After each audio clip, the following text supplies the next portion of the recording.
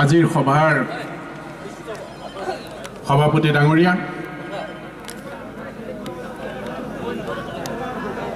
মঞ্চত উপবিষ্ট মোৰ শ্ৰদ্ধ বিশিষ্ট অতিথিসকল জমিয়ত উলামাৰ সভাপতি আনফৰ ডাঙৰীয়া অদীপ ফুকন ডাঙৰীয়া হাফিজ ৰচিদ আহমেদ চৌধুৰী ডাঙৰীয়া ৰাছেল হুছেইন ডাঙৰীয়া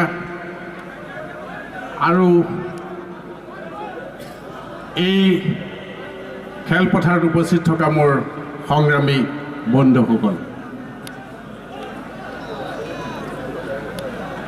সময় খুব কম বুলি কোৱা হৈছে মই গতিকে যিমান পাৰোঁ চমুকৈ কথাকেইটা ক'ম।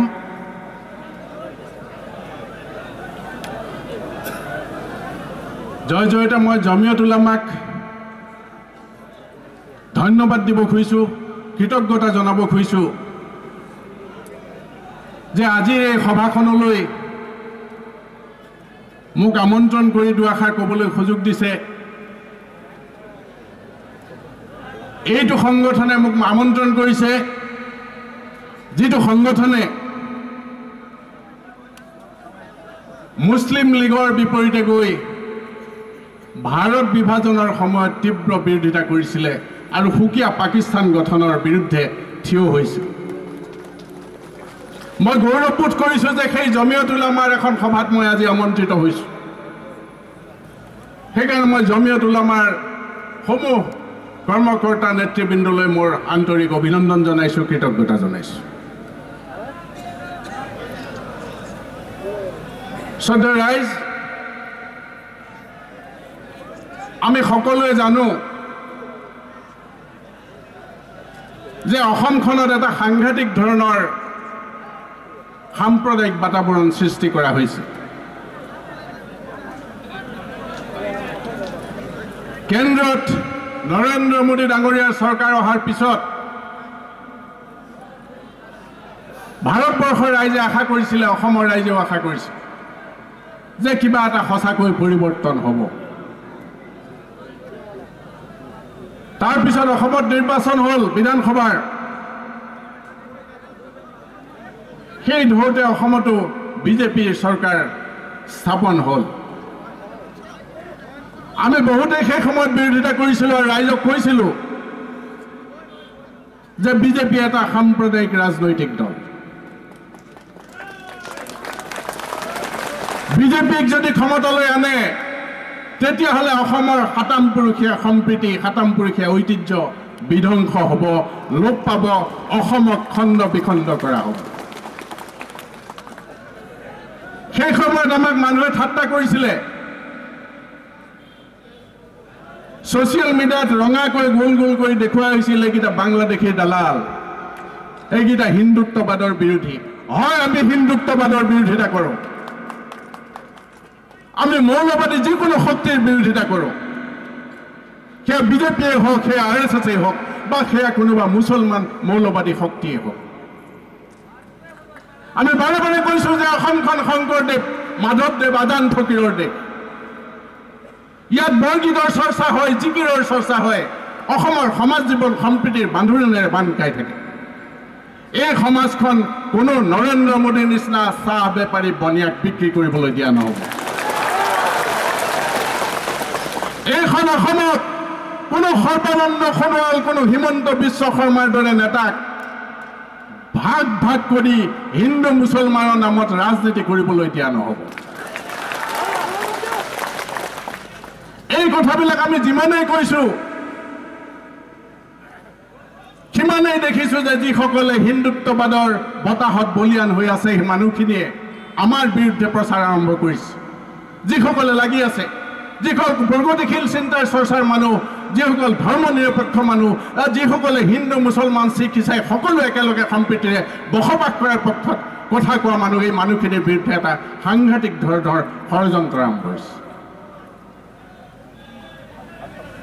আমি কৈছোঁ যে আঠশ পঁচপন্নজন শ্বহীদ হৈছে অসম আন্দোলনত। এখন চুক্তি হৈছে আৰু চুক্তিখনে যি কথা ক'ব সেই চুক্তিমতে সকলো কাম সম্পন্ন হ'ব লাগিব। হয় প্ৰথম অৱস্থাত বহু সংখ্যালঘু লোকে সংখ্যালঘু সংগঠনে অসম চুক্তিখনক লৈ কিছু বিতৰ্কৰ সৃষ্টি কৰিছিলে। কিন্তু লাহে লাহে সকলোৱে বুজি উঠিলে যে এসত্তৰ চনৰ চৌব্বিছ মাৰ্চৰ বাহিৰে অন্য কোনো সহজ ৰাস্তা অসমৰ সন্মুখত নাই। সকলোৱে গ্ৰহণ কৰিলে স্বীকাৰ কৰিলে। যে এসত্তৰ চনৰ চৌব্বিছ মাৰ্চৰ পিছত অহা কোনো বিদেশী লোকক অসমত থাকিবলৈ দিয়া নহ'ব।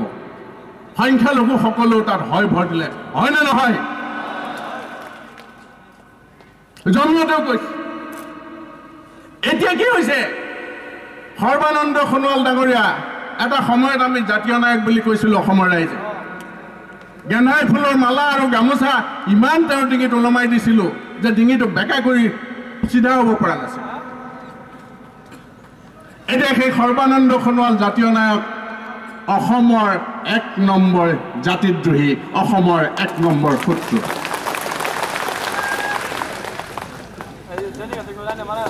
আমি আজিও কৈছো বাৰে বাৰে কৈছো বিভিন্ন অঞ্চলত মই যোৱা তিনি চাৰি মাহ ধৰি সংখ্যালঘু অঞ্চলত সভা সমিতি কৰিছোঁ।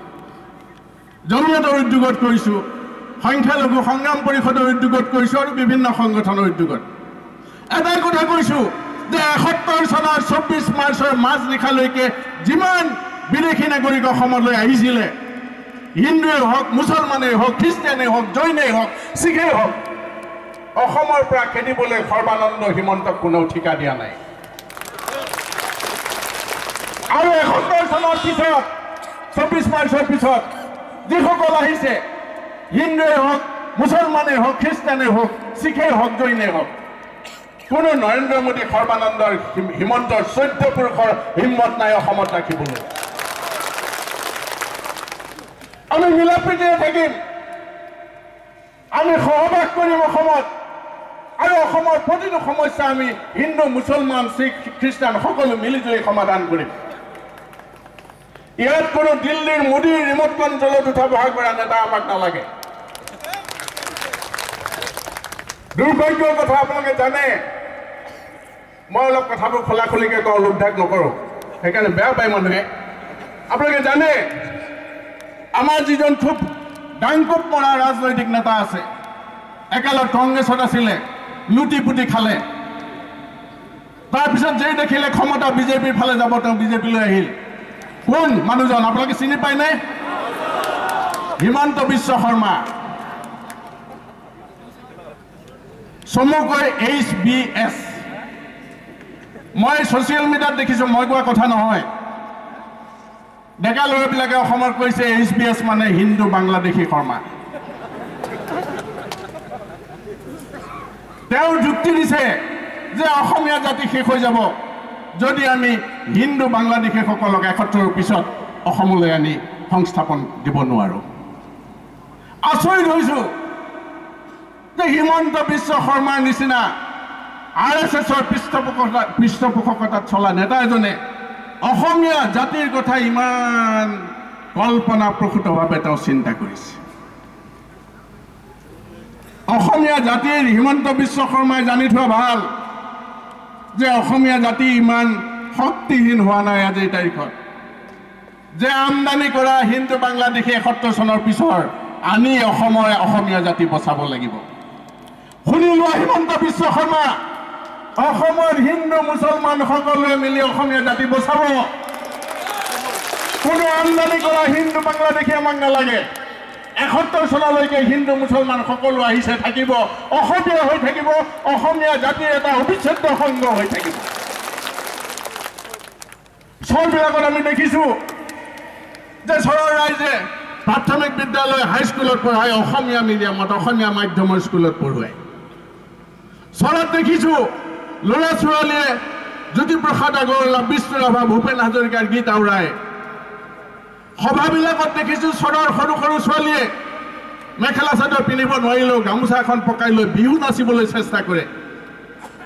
এইখিনি মানুহক অসমীয়া বুলি নকয় ধুৰন্ধৰ দগাবাজ সৰ্বানন্দ সোণোৱাল আৰু হিমন্ত বিশ্ব শৰ্মাক আমি অসমীয়া বুলি ক'বলৈ দ্বিধাবোধ কৰোঁ। সেই মানুহখিনিক যদি কোনোবাই অসমীয়া বুলি ক'ব নোখোজে তেতিয়াহ'লে আমি ক'বলৈ বাধ্য হ'ম যে এই মানুহকেইটা যিকেইটাই উৎপাত কৰি আছে সেইকেইটা অসমীয়া হয় নে নহয় মোৰ সন্দেহ আছে। মই চিধা চিধি কথা কওঁ বিপদত পৰিম মই জানো সৰহদিন নাই। আপোনালোকে জানে অখিল গগৈ ডাঙৰীয়া আজি ইয়ালৈ আমন্ত্ৰণ কৰা হৈছিল মোক টেলিফোন কৰি ক'লে তেওঁ গোটেই মাহটো ঘূৰি আছে শদিয়াৰ পৰা আৰম্ভ কৰিছে। কোনো পৰ্যায় মিলাব নোৱাৰিলে সেইকাৰণে ইয়ালৈ আহিব পৰা নাই।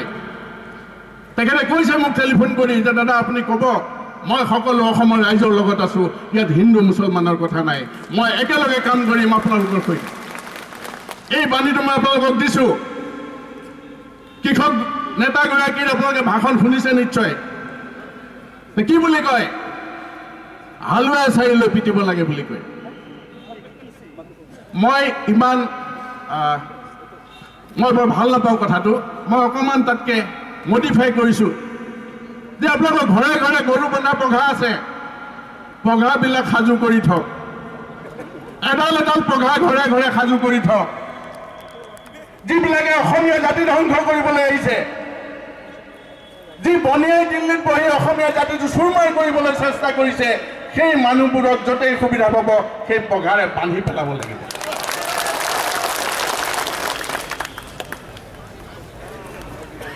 আমি কৈছো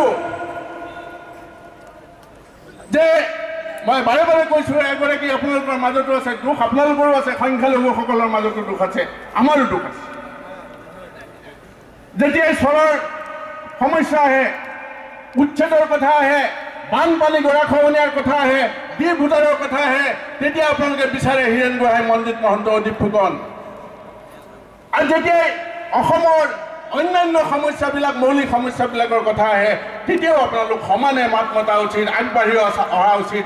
আৰু আপোনালোকে আঙুলি টোৱাই কোৱা উচিত যে ময়ো অসমৰ এটা অবিচ্ছেদ্য অংগ মোৰো দাবী এই সমস্যাবিলাকৰ সমাধান হ'ব লাগে। তেতিয়া অসমৰ সকলো স্তৰৰ মানুহে ক'ব যে এইসকল মানুহ আচলতে অসমীয়াৰ প্ৰকৃত বন্ধু এওঁলোক প্ৰকৃত অসমীয়া। এই সুযোগটো আপোনালোকে লোৱা দৰকাৰ। तकबीर। नारे तकबीर।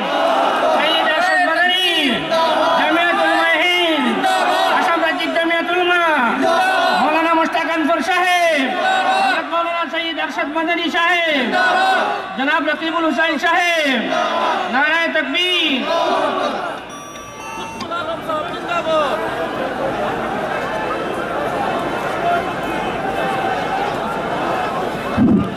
আপোনালোকে ষ্টেজতো মুৰব্বীসকলক মই অনুৰোধ জনাইছোঁ বহুত বেছি মানুহ গৈছে।